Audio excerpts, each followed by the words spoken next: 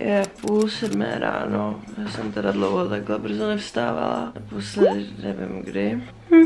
No, to bude zajímavý. Jsem spala asi dvě hodiny a to byl takový spánek, že jsem tak jako zabřela oči, že asi bych měla jít spát. Jsem si nějak jako zabalila. No a vůbec nevím, co jsem si zabalila. Fakt si to nepamatuju, co jsem si dala do toho kufru. Vidíme se na letišti.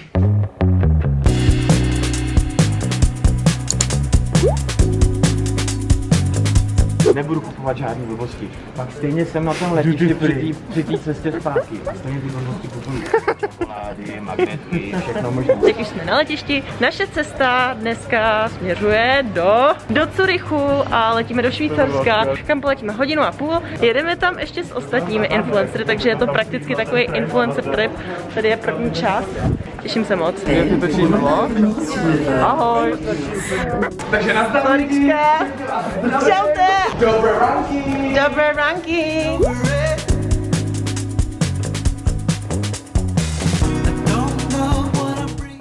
Let trval necelou hodinku a půl a po přistání jsme rovnou vyrazili vlakem na jich Švýcarska do městečka Brig, odkud jsme už autobusem a lenovkou stoupali do hor. By the way, vidíte tuhle tašku? Měla jsem v ní make-up a jídlo. Co myslíte, že se s ní stalo?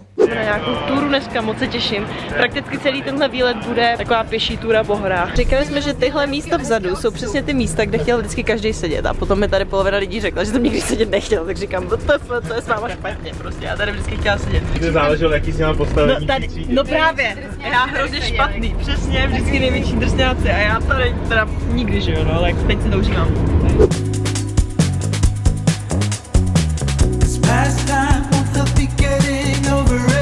Takže jsem úplně pitomá, hlavně, že tady říkám, jo, přijížděli jsme 50x spojema a já nechám v tom posledním spoji, který trval 10 minut, tašku s jídlem, ve který jsem měla make-up tašku.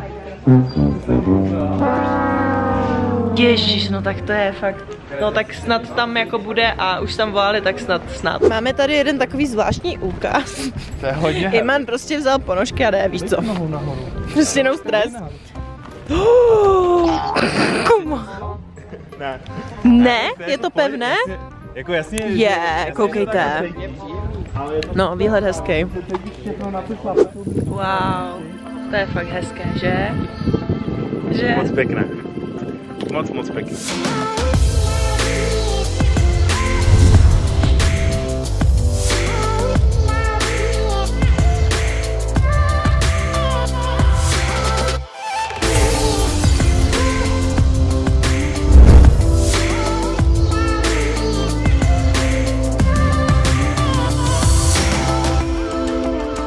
V Aleč aréně, což je jedna oblast Švýcarska, kde je i největší alpský ledovec na délku 20 km a váží 10 miliard tun. To číslo je úplně nepředstavitelné, takže taková informace, ale prostě 10 miliard tun. Tohle.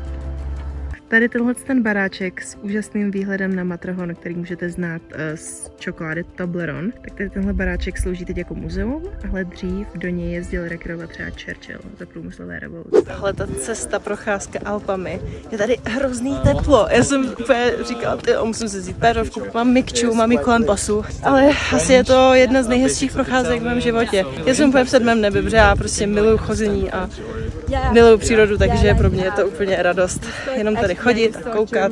Možná si dám, a já si dám asi sluchátka trošku. Jo, já si jdu dát sluchátka. Vítejte u nás na pokoji. Je to takové uh, škola v přírodě vibe, jo. Není to žádný luxusní jako resort nebo tak, ale je to moc krásný, protože ta příroda je to v tomhle celém jako duchu. Takže tady máme takhle hlavní jako ložnici, je nádherný světlo, je krásná golden hour, možná bych šla dělat nějaký photoshoot kubíčku, to by se nechce vidět. Tady máme umyvadlo a tady máme sprchový kout. A tady máme koupelnu a tady co je? Tajné dvířka. To je na komnata. Mm, ale nádherný. Na večeři jsme měli sírový a šunkový talíř plus místní pokrom choleru. Ano, vypadá to trochu zvláštně, ale bylo to moc dobré. Dobré ráno, je 8 hodin ráno a my vyrážíme na asi nejhlavnější místo v tady tohohle celého výletu a to je pětihodinový hike. Nejsem na to vybavená. Vím, že jsem se na to měla vybavit, ale na druhou stranu já jsem schopná chodit prostě v pantovlíčkách po skalách. Kudy se? Nemám batoh, který nám byl taky řečeno, že se máme přijít, ale já jsem uh, praktický člověk, takže jsem si udělala splátěný tašky batoh. A tady tenhle ten výhled jsme tu po ránu takhle měli. To byl hotel, nebo spíš penzion, nebo spíš chata, ve který jsme byli ubytovaný. We are ready to go! Jsem fucking unavená. Naší první ranní aktivitou byl sjezd hory na koloběžkách, což bylo úplně super, akorát mě z toho hrozně svědily ruce. Jak jsme tady potkali na cestě takhle kravičky, cinkají. To je, viď? Hezky ti to oslinta. Já se s tebou dám taky selfiečko. Tohle je moje super fotka s místní krávou. Tak se tady teď nějak soukáme do lanovky. Jsme zpátky na vrchu, máme mírnou svačinku, zbytek jde na testy, my budeme na ně čekat. Takže já si dávám jahody. Dále jsme pokračovali procházkou kolem nádherného jezera a vyjeli ještě na výše položené místo. Vyjeli jsme teď lanovkou na jeden z těch nejvyšších bodů tady a budeme pokračovat po vrstevnici až k směrem k naší chatce, která je podle Švýcarů dvě a půl hodiny, naší chůzí tři a půl hodiny plus fotky čtyři hodiny. Takže tam dorazíme okolo páté. Anička slibuje, že se vykopá v ledovém ledovcovém jezeře. Ona to slíbila. Já jsem si nevzala ty plavky. To zvládne. Říká, že tam bude běhat na hatách. No. Tady tenhle terén jsme se shodli s Kubou a s Kerry, že asi úplně jako oblečená hodně nejsem, to, to přiznávám, ale tohle to je docela extrém, s tím jsme úplně nepočítali.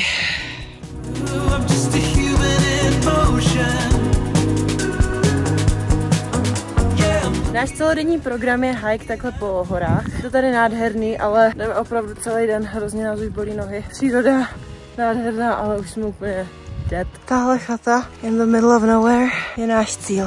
Uh, dorazili jsme, já jsem krásně spálená. Tady ta chatka vypadá to tady, že to tady docela bude fungovat. Je tam štěstí, ten záchod tam je, sprcha sice ne, ale to nevadí, nějak se zvládne a Štreka dobrá, ale furt mi zbývá kousek energie. Včera jsem se ještě po té túře dala pilates, tak možná dneska to zvládnu taky. Při ubytku. Škola příroděhu. Ale hezký jsme. Tady budeme všichni prdět do jedné deky, ne? No počkej, ještě je tady takový kumbálíček. Tak tady spí ta druhá skupina. Je nás osm, takže jsme to udělali tak, že no, možná. Má 4 4. Já mám teda takhle tří, no jako by moc room tour to není, protože prostě that's it. That's literally everything. Víte, co mi to připomíná? Šatnu. Na nějakých fotbalových těch, tady vždycky ty ty lavičky, tady si dají všichni věci a tady prostě jdeš dělat. Nevím. Co? No a teď tady to má takhle jako by dvě patra. Hele, máme tady záchod na patře, to je super a funkční záchod. To nikdo z nás nečekal, takže to je plus. A tady máme normálně jako umyvadla. Podívejte, jak jsem spálená. Hodně. Jakože takhle vám to řeknu. Jo, já jsem fakt spálená. Prváku na střední jsem byla na vodě. Já bych si to možná i tenkrát užila, jenomže bylo mi 16, nebyla jsem vůbec zvyklá prostě na přírodu, na chození. A jsem strašně ráda, že od té doby jsem si to zamilovala. Ale prostě tenkrát jsem to neměla ráda. Hlavně jsem měla ženské problémy, což jako na vodě úplně nechcete, když fakt celý den sedíte jako v, tý, v tom člunu nebo v raftu a teď jako čekáte, že Myslím, že tady ta chata je čistá, je to moderní všechno, až na to, že prostě všichni budeme spát v místnosti, což bude sranda, takže vlastně to bude fajn. Dobré ráno, dneska je třetí den v, ve Švýcarsku. Moje čelo už není tak rudé, ale další části mého obličeje jsou. Teď vyrážíme na túru někam na lanovku. Dvě hodiny, je 8 hodin ráno, bude to fajn. Já jsem konečně vyspaná, spala jsem třeba 8 hodin, takže no 7. Parta už je ready, já zase zdržuju. Opouštíme naší horskou chatu, nakonec to bylo vlastně úplně super. Strašně jsem se užila tu noc, tak to bylo fajn. A teď vyrážíme nějakým tam tím směrem. Ta krajina je nádherná. A tihle ráno ještě šli prostě někam na ledovec. Už nám ukážeš ty fotky, nebo jste si to vymysleli? Podle mě, že... Jestli to bude hezky, jak budu naštvaný, jestli ne, tak budu rád, že jsem se vyspal. No tak, ukáž. To už bylo fajn. Hmm. No, No. stejně jsem rád, že jsem se vyspal.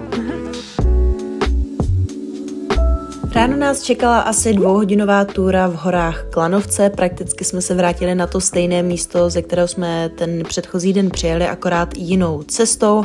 Tady můžete vidět, jak jsem byla fakt hrozně moc spálená. No a udělali jsme si ještě zastávku v Berelendu, kde mají svůj domov místní švýcarští Bernardíni a poté už jsme pokračovali do Ženevy.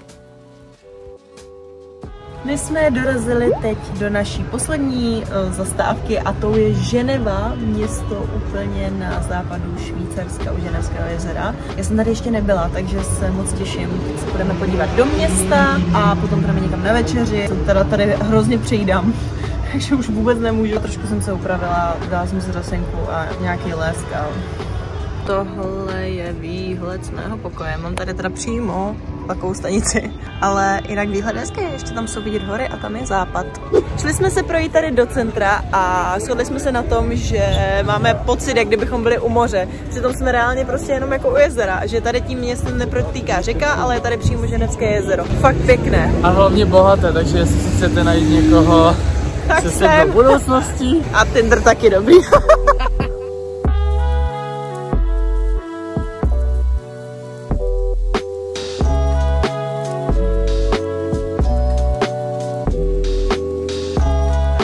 na večeři, všichni si hranolky a máme tady typickou švýcarskou specialitu. To jsou sírové fondy, já už jsem to měla před asi dvěma lety. Šíleně to zasytí, je to výborné, ale dáte si tak jeden takový kousek a jste plný.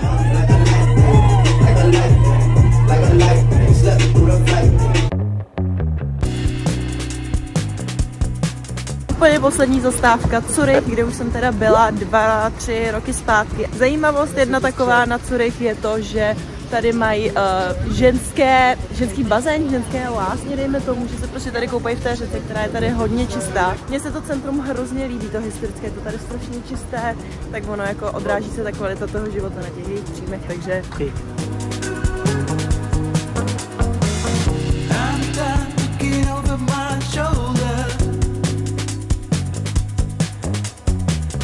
Tady tohle je jedna z nejdražších ulic na světě, což jako dává smysl, protože jsme ve Švýcarsku a to je taková místní pařížská. Takže ty ceny jsou tady ještě mnohonásobně vyšší. A když říkám mnohonásobně, tak opravdu mnohonásobně. No a tohle už je tak nějak pomalu konec našeho výletu. Samozřejmě jsem klasicky nenatočila konec, tak doufám, že vám to nevadí. A doufám, že jste si video užili a těším se zase příště. Čauky!